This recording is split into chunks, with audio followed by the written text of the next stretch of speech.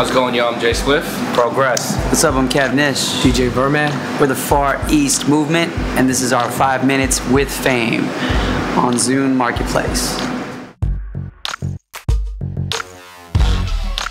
We all grew up together, you know, going to different high schools, and after work or after school, we would meet in this attic and teach ourselves how to make music on a computer. Um, there was really no tutorials. It was all just kind of a experiment and try. We would stay up till 6 a.m., finish a song, upload it, and put it on a forum or a blog.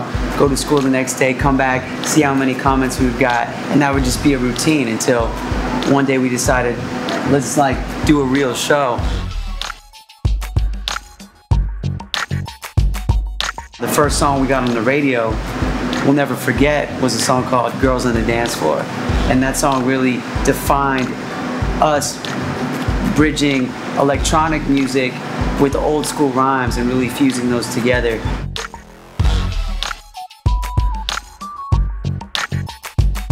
Well, the relationship we've like we've talked to the heads from the guy who signed us, Martin Kierszenbaum, who he when he had signed us, he's he's worked with Lady Gaga. He's he's Cherry Cherry Boom Boom. You know, he's he's worked with Black Eyed Peas, Eminem internationally. And he told us when he signed us, he said, "You guys have this party and the sound that I want to be a part of and I want to be invited to."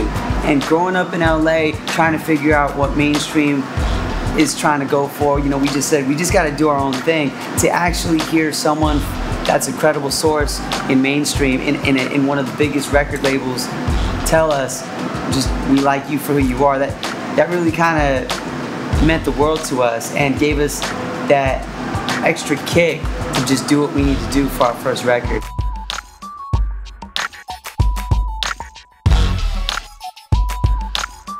It's crazy to to be able to come to Cleveland, a, a, city we've maybe been here once, Yeah.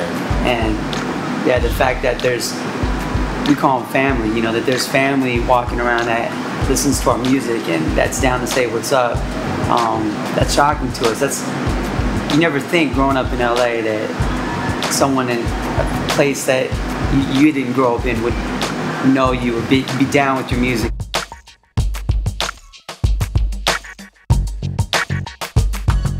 Well, being a DJ, of course, I saw Grandmaster Flash's mixer, so I'm gonna take that.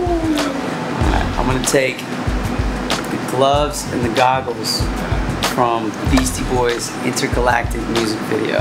Those are those are already in my pocket. Right before we came up here, we saw a display of just people, that artists that are from Cleveland.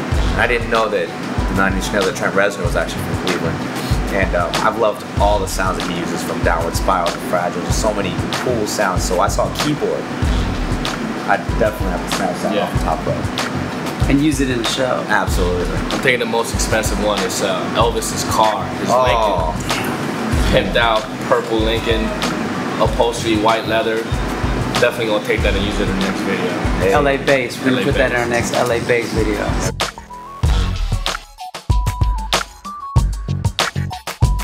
Once again, ladies and gentlemen, my name is Jay Swift. Prohgress.